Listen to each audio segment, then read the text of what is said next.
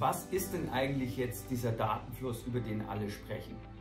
Naja, mal ganz vereinfacht gesagt bedeutet Datenfluss, dass Daten eben nicht nur an einer Stelle sind und bleiben und entstehen, sondern dass Daten von A nach B fließen, von C nach D, von einer Person zur anderen Person, manchmal auch von einer Firma zu einer anderen Firma.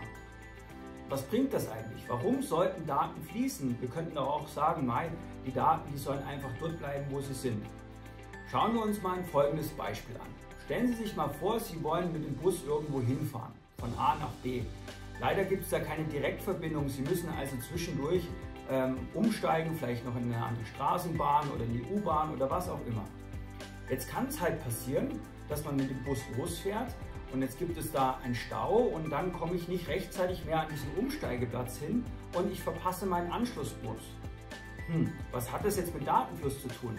Naja, es wäre doch eigentlich super, wenn der Bus, mit dem ich dann später fahren muss, wenn der wüsste, dass der andere Bus einfach später ankommt. Denn es findet ein Datenfluss zwischen diesen beiden Verkehrsteilnehmern statt und dadurch können die sich sozusagen abstimmen.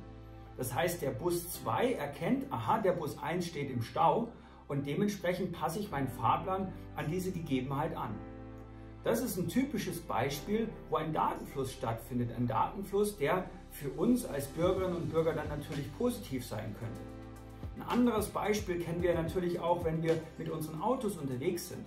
Sie haben bestimmt gemerkt, dass in den letzten Jahren die Verkehrsprognosen in unserem Navigationssystem sehr viel genauer geworden sind. Das liegt daran, dass ein großer Datenfluss zwischen den unterschiedlichen Verkehrsteilnehmerinnen und Verkehrsteilnehmern stattfindet, denn es werden nämlich die Standortdaten gesammelt, ausgewertet und teilweise auch noch mit anderen Daten ähm, ja, zusammengelegt, zum Beispiel mit Wetterdaten. Es ist ja zum Beispiel so, wenn es schneit, dann muss man langsamer fahren und durch diese Information kann das Verkehrssystem als solches dann optimiert werden.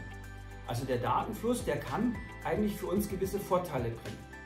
Ich habe noch ein anderes Beispiel für Sie.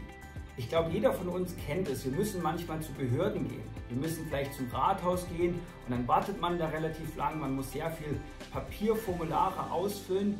Und das liegt unter anderem auch daran, weil es zwischen den Bürgerinnen und Bürgern auf der einen Seite und den Behörden und den Rathäusern zum Beispiel eben keinen richtigen Datenfluss gibt.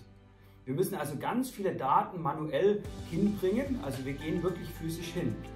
Ähm, viel besser wäre es aber eigentlich, also zumindest zeitsparender, wenn man zum Beispiel an seinen Computer geht und für die Genehmigung eines, ja, eines neuen Antrages oder für einen Pass oder für irgendwas, was man von der Behörde braucht, wenn man das online machen kann, die Daten sozusagen vom Bürger direkt äh, ins die, in die Behörde fließen und das dann automatisch dann stattfindet.